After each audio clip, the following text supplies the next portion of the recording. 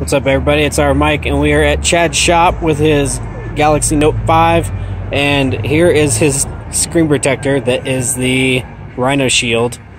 And uh, as you all know, Rhino Shield does the films. And as you can see, this is only a month that, since I had uploaded that video of installing it.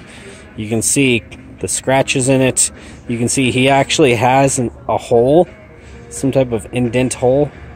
You can see how scratched up this film really is. So, uh, yeah, I'll have to say there's no crack in his screen, which is a good thing. But yeah, you can see all these deep scratches. This is the downside to films. But uh, Rhino Shield stands by their claims. They will send us another one for free for this. Um, I must thank Lou, our guy, my guy. That's my contact for Rhino Shield.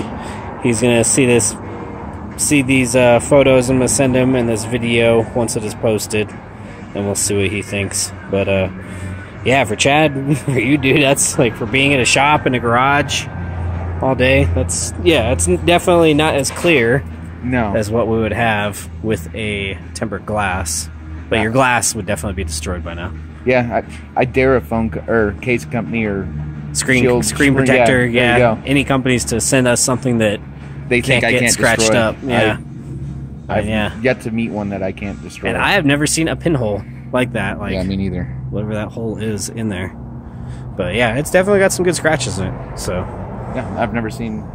I don't, I don't even know what it came from. It just no, and like we've seen your glass before, how it's gotten pretty destroyed, tempered glass.